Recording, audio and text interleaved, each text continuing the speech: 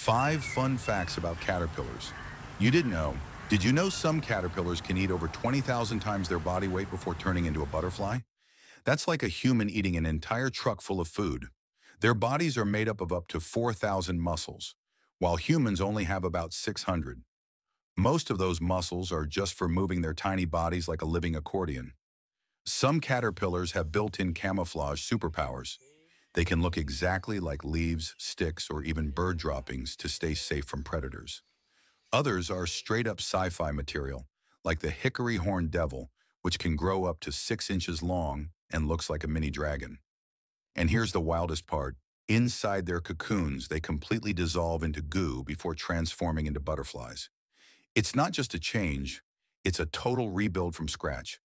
So next time you see a caterpillar, remember, it's not just crawling, it's preparing for one of nature's most magical transformations.